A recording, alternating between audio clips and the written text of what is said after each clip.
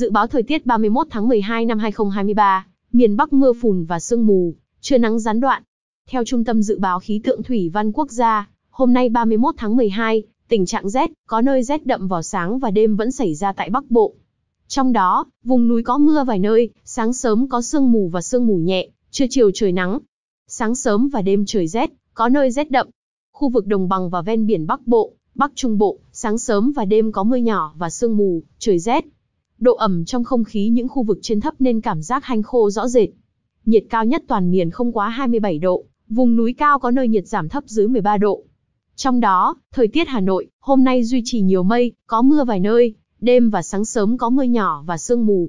Sáng sớm và đêm trời rét. Mức nhiệt ban ngày duy trì cao nhất 25-26 độ, ban đêm cũng tăng nhẹ, ở mức 18 đến 20 độ. Với Trung Bộ, mưa rông tập trung từ Quảng Bình đến Bình Định, cục bộ có nơi mưa vừa, mưa to. Phía Bắc đêm và sáng trời lạnh. Các khu vực khác, chiều tối và đêm có mưa rào và rông vài nơi, ngày nắng, riêng Nam Bộ có nơi nắng nóng.